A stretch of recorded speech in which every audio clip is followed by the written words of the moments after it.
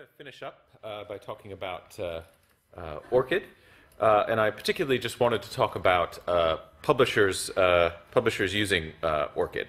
So, um, as I mentioned earlier, ORCID's reaching a, a, great milestone, and we'll soon have over a million researcher IDs and and profiles. As Carl just mentioned, Crossref already has some functionality that enables uh, researchers to add publications to their to their profiles.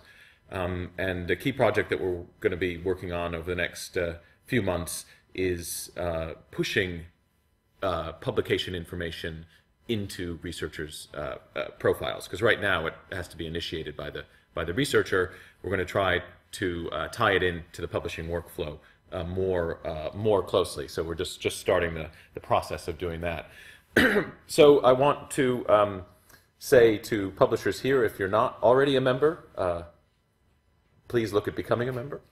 And uh, when you look at uh, becoming a member, uh, the main activities uh, I'll just want to cover now is that uh, publishers are largely requesting, who, the ones who've joined and integrated so far are requesting ORCID IDs at manuscript submission time. And then the ID becomes part of the metadata, and then it flows through into Crossref deposits, out into things like PubMed and, and, and Scopus, and then it actually can then be displayed uh, on uh, the publications as, as well to uniquely identify uh, those uh, those researchers, and then it enables then obviously to the the ORCID uh, ID itself is a is a link, and that can link off to the ORCID profile, which then leads to more information about um, uh, about the uh, about the researcher. So there's already been quite a lot of engagement from the, the publishing community, both from uh, from the publishers listed here and, and more, and also those organizations that are both societies and and uh, publishers.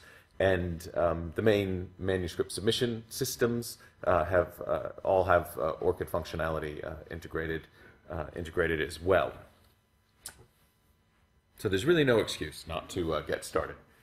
Um, so uh, a key thing, though, is that uh, uh when uh, uh, the is authentication. So when never let an author type in a type in an ID, right? So um, the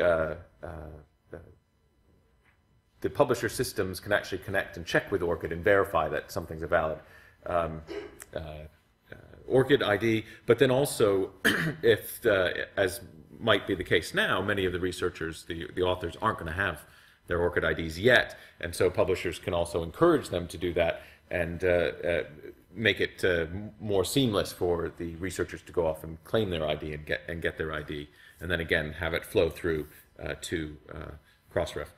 Uh, I think the the other key thing though is that publishers can use um, the ORCID then throughout their systems. So it can be used actually for signing on to the to the to their systems, but it can also be then uh, linked in with uh, all their internal systems. And there's uh, discussion, interesting discussions going on uh, now, and some collaboration between ORCID and CASRAI about uh, acknowledging uh, peer review um, activities so that uh, it's it's this idea of the contributor that that researchers are not just just authors but they're contributing in lots of different ways. And and ORCID can start to um, uh, give credit for that and, and help and help that uh, happen.